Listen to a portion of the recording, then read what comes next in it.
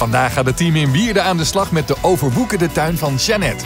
Ik had al een rustige tuin, maar het Japanse, zeg maar, dat, eh, dat nog meer rustiger wordt. Ja, op de een of andere manier kan ik daar de rust in vinden dan. Plof, alles van je af laten vallen. En gewoon kijken naar de waterval of zo. Ja, leuk.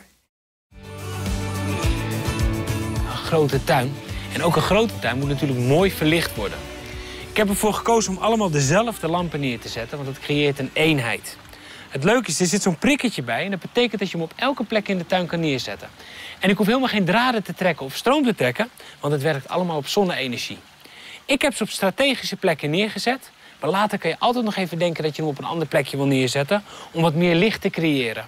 Let er wel op dat je hem op de juiste plek in je tuin neerzet, want er moet natuurlijk wel zon bij komen. Als er geen zon bij komt, ja, dan kan die ook niet branden. Ik ben heel benieuwd. Doen jullie je ogen maar open en geniet ervan. Oh, wauw. Oh, Oh, wauw. die is anders geworden. Het lijkt zo Oh, heel anders, hè? Ja. Heel anders, heel bizar. Kom even kijken.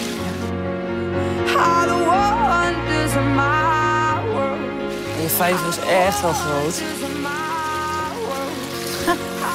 Kun je zo je vissen erin doen? Je moet eigenlijk even achter kijken waar dat bank zit.